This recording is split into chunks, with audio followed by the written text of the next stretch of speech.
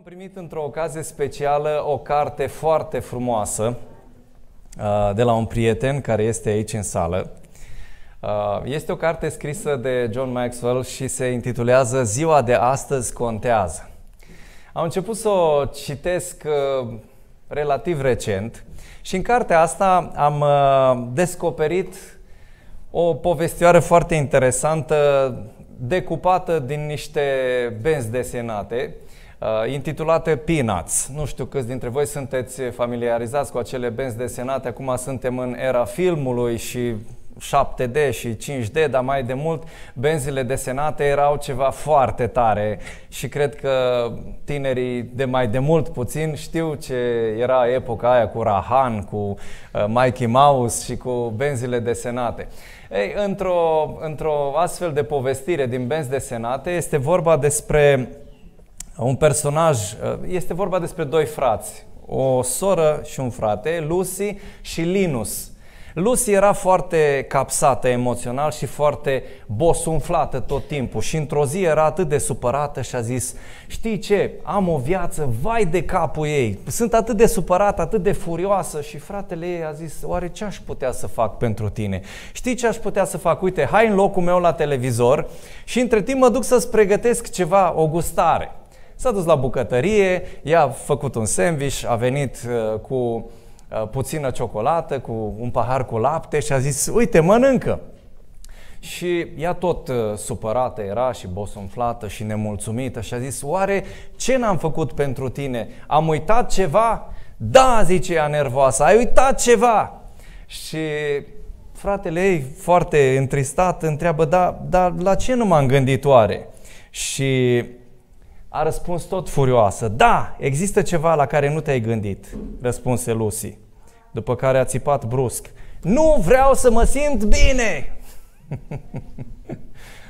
Interesantă cartea asta și chiar uh, vă recomand. Pur și simplu nu vrem să ne simțim bine. Sunt zile și ani în care noi stăm sub tensiunea aceasta sub presiunea aceasta, sub stresul acesta în mod inutil. Dar asta nu se datorează unor factori externi. Noi căutăm scuze de ce suntem supărați. Păi de ce e supărat? Și începem cu lista. Dar de fapt, nefericirea și îngrijorarea sunt alegeri.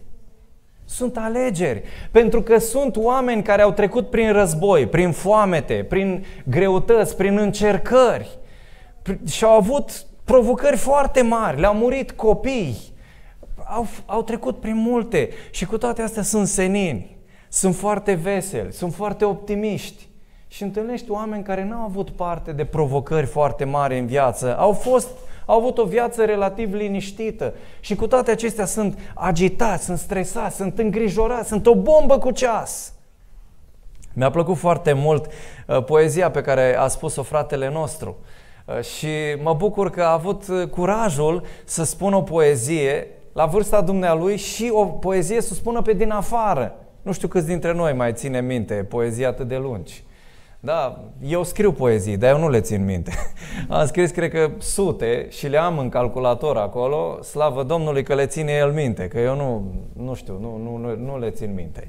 Dar uh, felicitări pentru, pentru curajul acesta de a spune o poezie și pentru dorința de a participa la închinare. Este un lucru extraordinar. Să fii pozitiv, să ai dorința, să te bucuri de ziua de astăzi. Ziua de astăzi contează cel mai mult. Și lucrul acesta l-a subliniat și Mântuitorul în momentul în care a rostit predica de pe munte, a spus niște lucruri extraordinare pe care noi le neglijăm. Le-am trecut la categoria lucruri simpliste, nu simple, simpliste. A, o gândire puerilă, niște sfaturi așa pentru copii, niște povești. Însă aici stă măreția lui Dumnezeu că a venit să simplifice viața noastră și existența noastră ca să fim fericiți. Și gândiți-vă cum au sunat aceste cuvinte în urechile unor oameni care erau apăsați de romani, care abia așteptau să fie eliberați, care erau stresați de taxe, de impozite, de faptul că erau nedreptățiți, de sărăcie, de toate lucrurile astea.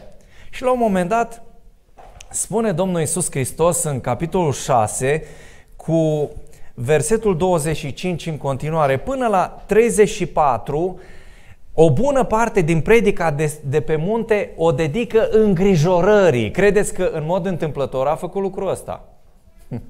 Foarte multe versete din predica de pe munte, Domnul Hristos le-a dedicat îngrijorării și spune El așa. De aceea vă spun, nu vă îngrijorați de viața voastră. Wow! Ne îngrijorăm de viața noastră. Ce ziceți dumneavoastră? Aduceți-vă aminte că nu de mult a trecut perioada asta, când eram pur și simplu terifiați. Vai, o să murim. Și ce dacă? Mare lucru. Și Domnul Hristos, nu vă îngrijorați de viața voastră. Apoi, gândindu-vă ce veți mânca, ne îngrijorăm de mâncare, că o să murim de foame. Ce veți bea, nici de trupul vostru, gândindu-vă cu ce vă veți îmbrăca. Oare nu este viața mai mult decât hrana și trupul mai mult decât îmbrăcămintea? Iată niște întrebări pe care le pune Domnul Hristos. Pentru ce se îngrijorează oamenii? Pentru mâncare, pentru băutură, pentru haine, pentru viață? Și zice Domnul Hristos, dar nu vă îngrijorați pentru astea. Nu vă îngrijorați pentru astea, pentru că astea nu sunt problema voastră.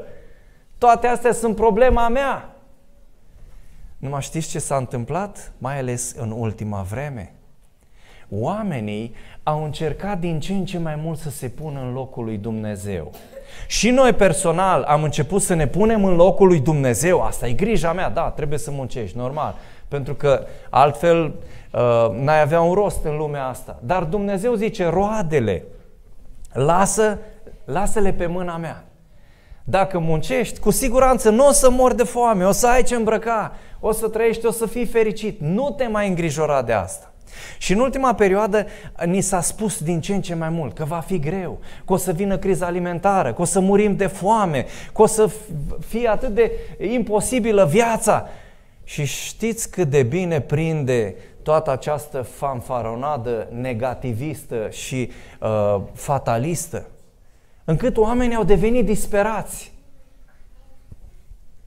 Și noi, personal ne-am pus în locul lui Dumnezeu și cei care conduc lumea și țara s-au pus în locul lui Dumnezeu. Știți că au mai fost momente în care oamenii s-au pus în locul lui Dumnezeu și Dumnezeu le-a dat niște lecții usturătoare. Dacă noi acceptăm din nou că Dumnezeu este Dumnezeu, ar trebui să fim cei mai liniștiți din lumea aceasta și cei mai fericiți. Și dă Domnul Hristos câteva exemple. Uitați-vă la păsările cerului. Ele nici nu seamănă, nici nu seceră și nici nu strâng nimic în grânare și totuși Tatăl vostru cel ceresc le hrănește. Tatăl vostru cel ceresc le hrănește. Și spune, oare nu sunteți voi cu mult mai de preț decât ele? Sunt atât de simple cuvintele acestea, dar atât de profunde. Și le-am uitat. Am uitat că Dumnezeu poartă de grijă. Am uitat că Dumnezeu este Cel care ne binecuvântează. Am uitat că Dumnezeu nu ne va lăsa. Și apoi face aplicația. Care dintre voi îngrijorându-se poate să adauge măcar un cot la înălțimea lui? Și de ce vă îngrijorați de îmbrăcăminte? Uitați-vă cu băgare de seamă cum cresc crinii de pe câmp. Ei nici nu torc, nici nu țes. Totuși vă spun că nici chiar Solomon în toată slava lui nu s-a îmbrăcat ca unul din ei. Așa că dacă astfel îmbracă Dumnezeu iarba de pe câmp, care astăzi este, dar mâine va fi aruncată în cuptor, nu vă va îmbrăca El cu mult mai mult pe voi, puțin credincioșilor. Observați că Domnul Hristos leagă teama și îngrijorarea de necredință. Noi am încercat să scuzăm teama noastră și disperarea și îngrijorarea și să spunem, a, uite că sunt atâtea provocări, atâtea lucruri negative în jurul nostru, cum să nu te îngrijorezi? Dar știți ce spune Dumnezeu? Ești necredincios. Când te îngrijorezi peste măsură și devii stresat și uh, în momentul în care pierzi lucrurile de sub control, zice Hristos, ești necredincios, ești puțin credincios, n-ai credință. Oare nu vă va îmbrăca El cu mult mai mult pe voi, puțin credincioșilor? Nu vă îngrijorați, dar zicând, ce vom mânca sau ce vom bea Sau cu ce ne vom îmbrăca? Sau cu ce vom plăti facturile la gaz și la energie? Nu?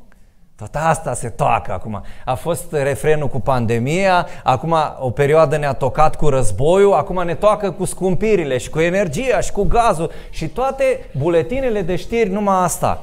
Rumegă. 24 din 24. Și lumea, ah, acolo e. Și se veninează din ce în ce mai mult, tot cu o travă aceasta. Și ce Dumnezeu, dar nu purtați de grijă de asta. Pentru că eu voi avea, voi purta de grijă. Fiindcă toate aceste lucruri neamurile le caută. Tatăl vostru cel ceresc știe că aveți trebuință de ele.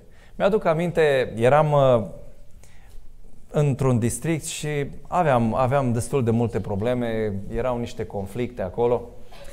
Și la un moment dat eram atât de împovărat și m-am întâlnit cu un coleg care m-a văzut și a zis, dar ce cu tine? Și am zis, mă, uite, am problemele astea, să ceartă, nu știu ce să mai fac cu ei, cum să mai împac. I-am vizitat, m-am rugat cu ei, am încercat să fac, să meargă lucrurile, nici cum, zici că mai rău este, zici că pun gaz pe foc când fac treaba asta. Și mi-a zis așa, zâmbind, știe domnul? Zic, eu știe. și atunci de ce te mai stresezi? Îmi venea să-i dau vreo două atunci. În momente din astea în care vine cineva să, să te ridice și tu ești foarte capsat emoțional pe negativ, când îți spune, dar nu te mai stresa, stai liniștit, parcă îți vine să îi dai vreo două, pentru că ai vrea să te mențină în starea aceea, să spună, vai, dar ce nenorocit ești, vai, dar ce greu îți merge, vai, dar bă, mamă, ce viață ai, hai, uite un bandaj, uite un plasture, uite un diazepam, uite un calmait, uite niște magne B6, ia ca să îți treacă puțin, hai, nu mai, te rog, nu mai fi așa. Ne place să atragem uh, compasiunea pe partea asta negativă asupra noastră. Însă în momentul ăsta noi trăim ca niște victime. Și Dumnezeu nu vrea să trăim ca niște victime. Vrea să trăim ca niște învingători. Și spune, asumă-ți responsabilitatea pentru asta și nu uita niciodată că tata știe ce ai nevoie. Tatăl vostru cel ceresc știe. De aceea spune, căutați mai întâi împărăția lui Dumnezeu și neprihănirea lui. Și toate aceste lucruri vi se vor da pe deasupra. Nu vă îngrijorați, dar de ziua de mâine, căci ziua de mâine se va îngrijora de ea însăși. Ajunge zilei necazul ei. Dacă noi am trăit versetul ăsta și l-am aplicat, vă garantez că n-am mai avea atâtea depresii și n-am mai avea atâtea cazuri la psihiatrie. Îmi pare rău, doamna doctor, dar asta e... Ați dat faliment. Dar uh, prosperă ramurile acestea pentru că oamenii nu cred nici o iotă din ceea ce spune Dumnezeu aici. Și ajunge zilei necazul ei, dozează necazul pentru fiecare zi. Ziua de astăzi este importantă, ziua de astăzi contează, ziua de astăzi este viața ta. Nu cea de ieri, a trecut. Ori cu bune, ori cu rele, a trecut. Uh, dacă a fost cu rele, s-a rezolvat, ai scăpat de ele, dacă ai avut succes, s-a dus și succesul de ieri. Spunea tot John Maxwell că succesul durează doar o singură zi. Zice, după ce te-ai uh, simțit bine, trezește-te și luptă din nou, pentru că succesul nu este permanent. Și ziua de astăzi este momentul în care se desfășoară viața ta. Și ce Domnul Hristos, astăzi tu trăiești. Astăzi este ziua în care trebuie să te bucuri. Astăzi este ziua în care să fii fericit, în care să nu te îngrijorezi. Este ziua în care trebuie să faci ceva care contează cu adevărat. Ajunge zilei necazul ei. Ce s-ar întâmpla în lumea noastră dacă noi am avea o astfel de mentalitate? Ce s-ar întâmpla în lumea noastră dacă Acolo unde este atâta încruntare, atâta negativism, am venit să plantăm zâmbet, bucurie și speranță. În primul rând am fi noi mai fericiți, asta este clar, pentru că fericirea te face să te simți bine, da? Și în al doilea rând, oamenii vor dori să fie în preajma noastră. Oamenii care sunt pozitivi, care sunt veseli, au întotdeauna lipici la alți oameni. Pentru că oamenii, în esență, au nevoie să fie fericiți. Și în momentul când te văd fericit, vor să fie în preajma ta. În momentul când te văd morocănos, nemulțumit, stresat. Ce zice omul? Păi din astea am și eu destule. mai stau să mai pună și uh, problemele lui în cârca mea, n-am nevoie de ele. Am nevoie de cineva care să mă bine dispună. Am nevoie de cineva care să mă facă să fiu fericit. Mi-a plăcut foarte mult uh, exemplul lui Elisei, omul lui Dumnezeu, care a înțeles cu adevărat acest principiu al, al uh, credinței care lucrează în viață în orice situație l-am găsit pozitiv și optimist și plin de credință în cele mai dramatice și amenințătoare situații. În doi împărați, dacă luăm așa câteva tablouri din viața lui, uh, vedem că Elisei era omul care deschide drumuri. Era omul care îi ajuta pe ceilalți să aibă speranță. Era un om care a trăit în vremuri de criză politică, socială, spirituală, apostazie crasă de la împărat până la cel mai mic de jos, toți erau pe șleauri după alți Dumnezei, lipsă de credință, lipsă de speranță. Și în momentul când veneau la Elisei, omul lui Dumnezeu, drumurile se deschideau. El nu zicea, nu se poate, vai, hai să, hai, suntem terminați, gata, să termină totul, hai să tremurăm, hai să clănțănim din dinți. Nu! A venit o femeie văduvă, care era datoare și a zis, vin ăștia și mi-au copiii, cămătari, ajută-mă omule a lui Dumnezeu și nu i-a zis, du-te să te rogi. I-a zis, ce ai în casă? Vase. Adună vase cât mai multe, împrumută și începe să torni. Și a început să toarne, unde lemnul se mulțea din ce în ce mai mult, a plătit datoria și i-a mai și rămas bani ca să trăiască. Omul lui Dumnezeu a fost cel care a făcut diferența. Apoi, în altă situație, spune cuvântul lui Dumnezeu că tot vizita o familie, uh, o familie bogată, care îl simpatiza foarte mult, dar care nu aveau copii. Și la un moment dat, Elisei și a zis în sinea lui, bă, vin și mănânc de atâtea ori, oamenii ăștia mă primesc atât de bine, cu ce pot să-i binecuvântez, ce pot să le întorc înapoi? Știți că noi de multe ori suntem profitori, vrem să luăm, să luăm, să luăm, dar să nu mai dăm înapoi niciodată. Asta este firea noastră egoistă. Însă, în momentul când nu mai dai înapoi, în momentul acela, tu pierzi binecuvântările. Dumnezeu oprește acele binecuvântări.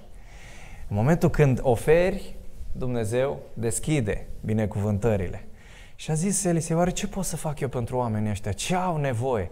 Păi zice, uite, Gehazi n-au copil. A, pă, asta ce pot să o rezolv eu? Și Elisei zice, hai să rugăm pe Dumnezeu. Uite, la anul pe vremea asta o să ai un copil. Și într-adevăr, la anul pe vremea aceea, ținea în brațe un copil. Și la un moment dat copilul s-a făcut mare și a murit.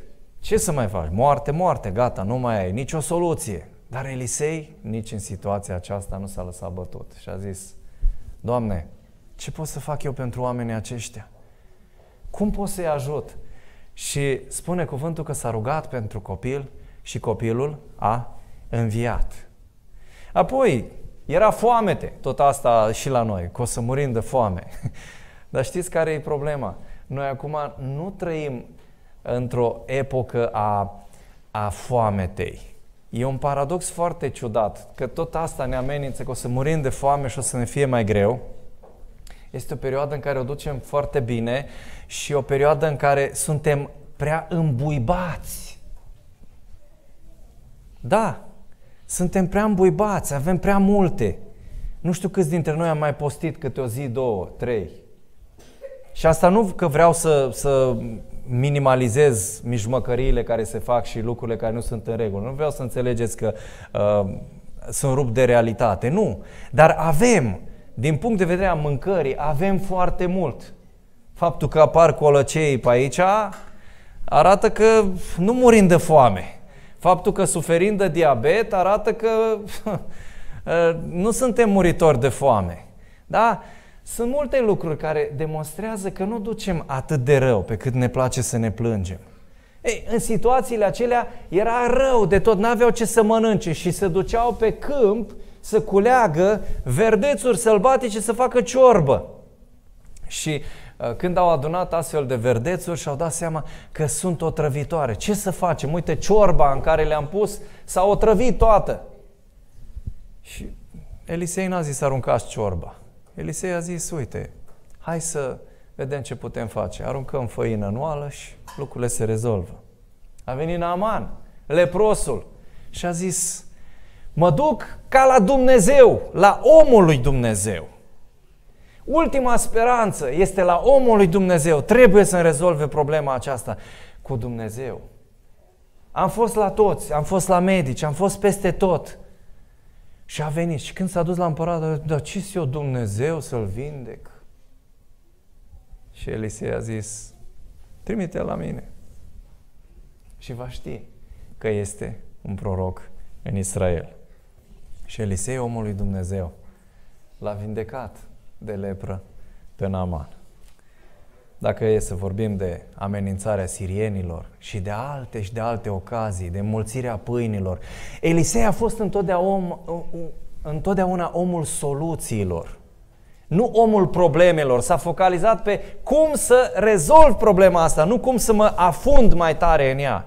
Și asta este marea noastră problemă. Când apar anumite situații, când apar anumite amenințări, ne uităm la probleme, ne uităm la încercări, ne uităm la provocări și ne speriem și acolo stăm paralizați. Însă Dumnezeu ne învață că trebuie să fim pozitivi în astfel de provocări. Ce a făcut? În momentul în care a fost amenințat sirienii să-l ia, Elisei a zis, Doamne, deschide ochii să vadă. Și cred că rugăciunea asta ar trebui să o spunem în fiecare zi și în fiecare situație dramatică. Doamne, deschidem ochii să văd oportunitățile, să văd binecuvântările, să văd ce vrei să mă înveți tu de aici, lecția de viață pe care trebuie să o învăț. Și primul lucru pe care l-a spus a fost, nu te teme. Nu te teme. Pentru că cei care sunt cu noi sunt mai mulți decât îi vezi tu pe aici cu cai și care și călăreți. Și după ce Dumnezeu i-a deschis ochii, a văzut muntele plin de cai și de care împrejurul lui Elisei. Așa spune Scriptura. Îngerul Domnului tăbărește în jurul celor ce se tem de el și scapă din primești. În momentul în care ai credința aceasta în suflet, Dumnezeu îți deschide ochii să vezi o altă lume. În momentul în care ai această credință în suflet, Dumnezeu te ajută să vezi soluțiile în problemele care vin în viața ta. Cel mai dramatic a fost în momentul în care Samaria a fost înconjurată și pusă sub asediu. În momentul acela au început să își mănânce mamele copiii, în momentul acela începeau să mănânce găinați de porumbel și să mănânce capete de măgari. Și ce credință să mai ai în astfel de situații? Aia da criză. Vă dați seama să ajungă o mamă să-și mănânce copilul este cu adevărat dramatic. Ce speranță să mai ai? Ce, uh, ce optimism, ce credință să mai ai în astfel de situații când lucrurile sunt atât de grave? Și cu toate acestea, Elisei a făcut o profeție. Mâine, la ora asta, o să scadă brusc inflația, o să scadă prețurile și toate o să fie gratis, pentru că Dumnezeu vă dă binecuvântările Lui. Și a zis cineva, și dacă o să facă Dumnezeu ferestre în cer, lucrul ăsta o să fie imposibil. Nu se poate așa ceva. Și cel care a zis lucrul ăsta a murit călcat în picioare de cai.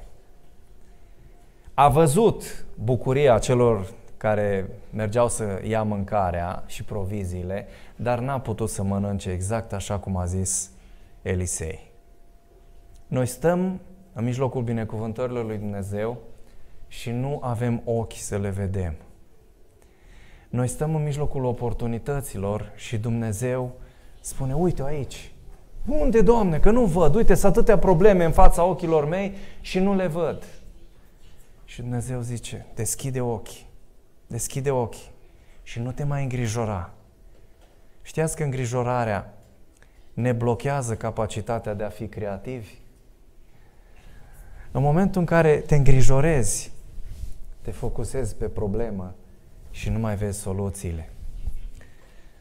Domnul Hristos, în momentul în care era în plină furtună, Matei capitolul 8, era cu ucenicii săi. Și spune cuvântul că s-a suit într-o corabie și ucenicii au mers după el și deodată s-a stârnit pe mare o furtună atât de strașnică încât corabia era acoperită de valuri. Și el, și el dormea. Ce contrast! Nu era somnul indiferenței ca la Iona. S-a dus să, să crape ăștia, să moară, să nece. Păi, eu mă pun să dorm. N-am nicio treabă, niciun stres. Nu era somnul acela al indiferenței. Era somnul liniștii că Dumnezeu poartă de grijă. Corabia aproape se scufunda și Isus dormea liniștit, cu capul pe cârmă.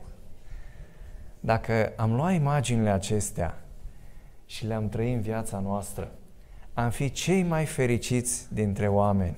Se scufundă corabia! Dumnezeu e la cârmă. Murim! Nu o se întâmplă nimic. O să vină nu știu ce crize. Și ce dacă? Tata poartă de grijă. El are grijă de ceea ce avem noi nevoie. Și observați că ucenicii la un moment dat, văzând liniștea aceasta a lui, enervantă, domnule, noi ne căznim aici cu gălețile, să scoatem apa, să facem aici, să supraviețuim și el doarme. Doamne, trezește-te! Nu-ți pasă că pierim? Și spune cuvântul, de ce vă este frică puțin credincioșilor? Iarăși leagă frica de necredință și nu este o isterie aici a ucenicilor. Nu e vorba de frici din astea imaginare. Era o situație reală, era un pericol real. Domnule, să scufundă corabia, ne necăm aici. Aveau motive din punct de vedere omenesc să spună lucrul acesta și să acționeze în felul acesta. Dar Isus nu găsește scuză pentru temeri și pentru îngrijorare. Spune, de ce vă temeți? Puțin credincioșilor. Apoi s-a sculat, a certat vânturile și marea și s-a făcut o liniște mare. Nu te îngrijora. Poate că în viața ta sunt probleme. În viața fiecăruia dintre noi sunt probleme. Nu doar tu ai probleme. Poate că ești bolnav. Poate că treci printr-o situație financiară mai precară. Poate că lucrurile n-au mers în ultima perioadă așa cum ți-ai imaginat sau cum ți-ai dorit.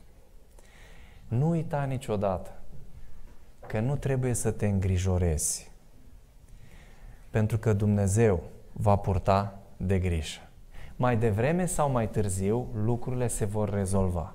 Mi-aduc aminte, eu de firea mea am fost foarte, foarte stresat și perfecționist. Când era clasa 8 efectiv, stres maxim, să intru, să intru la liceu de artă. Când a venit bacul, la fel, stres maxim, ca să iau bacul, să fie bine. Când a dat admitere la conservator, iară, stres maxim, pentru licență, iară, stres maxim. Și acum mă uit în urmă și voi când vă uitați în urmă, ne dăm seama că a fost o mare prostie.